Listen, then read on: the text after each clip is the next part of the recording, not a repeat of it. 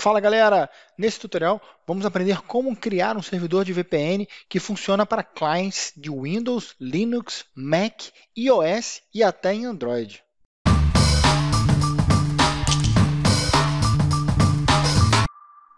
Fala galera, muito bem-vindos ao canal da CIDTS. Eu sou o Felipe Amaral, analista de infraestrutura e DevOps da CID, e hoje você vai aprender como criar um VPN Tunnel, um servidor para você melhorar a conexão entre o seu workstation e a sua empresa, ou a sua empresa né, ao seu cliente, o servidor que nós vamos criar vai ser uma máquina Linux, tá? uma VM que vai estar dentro do Google Cloud. Tá? Ela não precisa ser parruda, pode ser das máquinas mais baratinhas para você dar uma economizada também, mas a única exigência é que ela seja uma máquina Linux. Para essa instalação, a gente vai estar utilizando um script bash desenvolvido pelo Linson. Conhece o Linson? Chinês? Usa óculos? Não, nem eu conheço ele. Mas o cara desenvolveu aqui esse script que utiliza para IPsec o LibreSwan e a parte de L2TP utiliza o XL2TPD, da galera do Excellence. O link para todos esses projetos, inclusive para o link da página do Linkson, estão aqui embaixo na descrição do vídeo. Além da instalação do servidor, nós também vamos mostrar como que a gente vai fazer a configuração do firewall para poder liberar o acesso da workstation ou de qualquer device do client, né, para o servidor de VPN.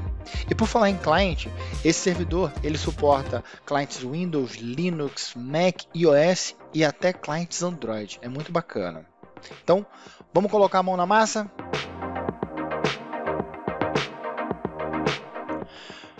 Bom, galera, já estamos aqui no Google Cloud Console. Tá? Vamos criar aqui então nossa instância. Tá? É, lembrando que a gente não precisa de uma instância muito powerful, muito parruda. Tá? Pode ser uma instância simples, com pouca CPU.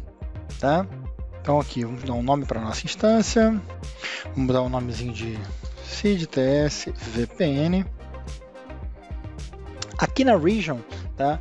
o ideal é que você escolha uma região é, que esteja de acordo com o servidor ou a máquina ou o local que você quer conectar. Por exemplo, se você vai se conectar, vai utilizar um servidor site to site, servidor de VPN para fazer um site to site para um cliente, esse cliente está localizado onde? No Brasil, na América do Sul, na Europa, na Ásia, né? Então você escolhe aonde vai ficar o seu servidor de, VPN de acordo com o cliente. Esse é o ideal. Tá? Aqui a gente vai utilizar o US Central 1 em Iowa mesmo, que é só um exemplo, então não faz muita diferença. E outra, esse é o mais barato atualmente. Vamos escolher aqui a máquina. Como eu falei, não é uma máquina parruda, então a gente pode escolher essa aqui com duas CPUs e 1 GB de memória mesmo. Vai ser muito mais do que suficiente. Vamos descer um pouco. Vamos escolher aqui, vamos mudar essa qual é a imagem que a gente vai utilizar, Debian. Eu particularmente gosto de usar CentOS ou Red Hat. Uh, vamos utilizar aqui um CentOS. Beleza. Mais para baixo tem algumas outras opções. Que importante, a gente vai ter que mudar na parte de networking. Então a gente clica aqui, ó, Network Interface. Vamos clicar, expandir aqui essa parte. Descer mais um pouco. Em External IPv4 Address, o ideal é que você tenha um IP fixo, tá? Não um IP dinâmico. Então, o ideal é que você venha aqui e create an IP address para que ele seja fixo, tá? Uh, mas nesse momento a gente vai fazer, por exemplo, a gente vai estar utilizando um IP efêmero, é, só isso mesmo, eu queria mostrar essa parte do, do IP. Vamos finalizar. Fechar a parte de networking e vamos criar a nossa máquina.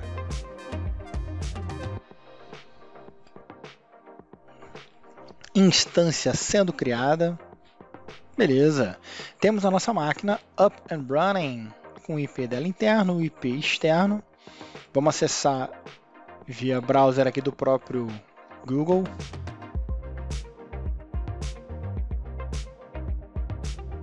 Então a primeira coisa que a gente tem que fazer aqui é baixar o nosso script de instalação. Tá? Beleza, temos nosso script, vamos agora editar ele. Precisamos mudar alguns parâmetros, tá?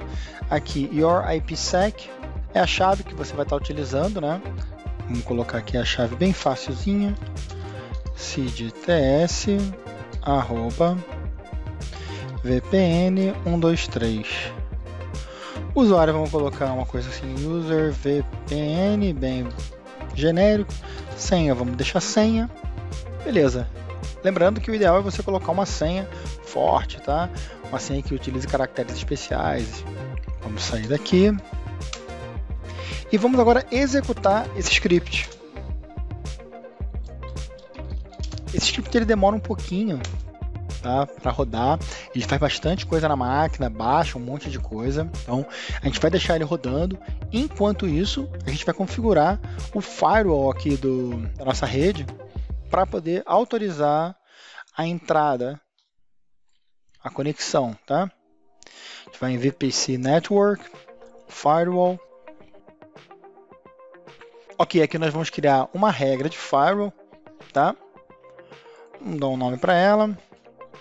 VPN Rule. Esses valores podem deixar eles padrões, não precisa mudar nada. Aqui, Source Range.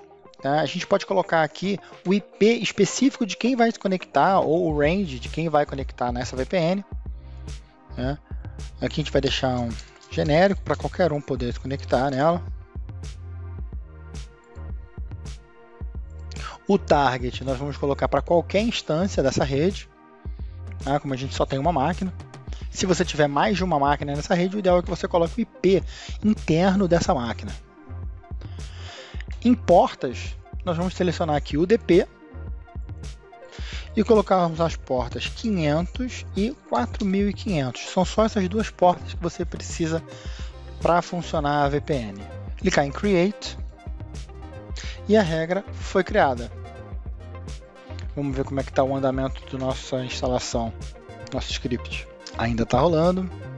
Vamos dar mais alguns minutinhos aqui para ele. A few moments later. Instalação finalizada. Agora vamos criar a nossa conexão VPN no Windows. Vamos abrir aqui VPN, configurações de VPN.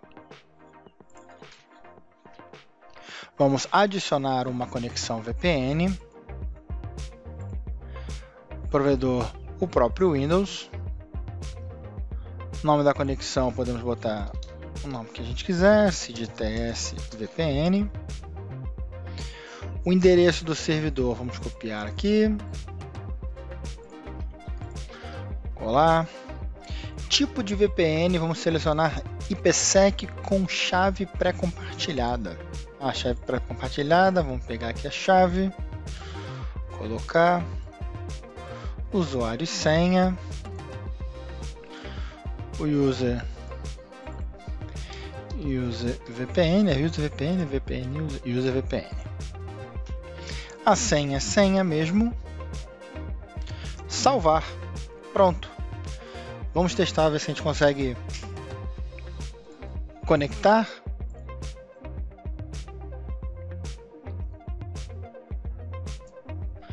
Ok, estamos conectados na nossa VPN. Vamos testar aqui, vamos abrir um command do Windows. Nós temos o IP interno da máquina, né? Vamos olhar aqui no Google Cloud. O IP da máquina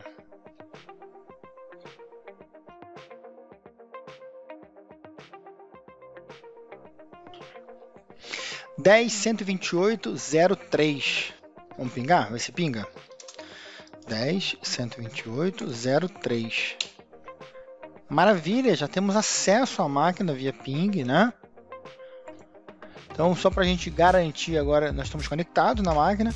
Agora, só para a gente confirmar isso, vamos, vamos desconectar da VPN e vamos testar novamente esse ping. Olha lá, não temos mais acesso à máquina. E é isso, pessoal. Esse foi o nosso vídeo criando um servidor de VPN aqui na Google Cloud. Vocês podem fazer, repetir isso na sua casa, repetir isso na sua empresa. É uma forma bem fácil de você incluir segurança nas suas conexões. E a gente vai ficando por aqui. Espero que tenham gostado do conteúdo. Deixe seu like, se inscrevam no canal, que toda semana tem novidade aqui no canal da CIDTS. Um forte abraço.